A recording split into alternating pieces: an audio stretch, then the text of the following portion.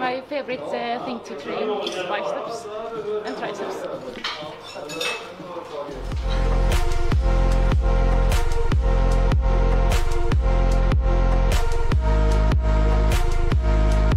Why do you like training biceps and triceps? Because I get big arms, so it's fun. You like having big arms? yes.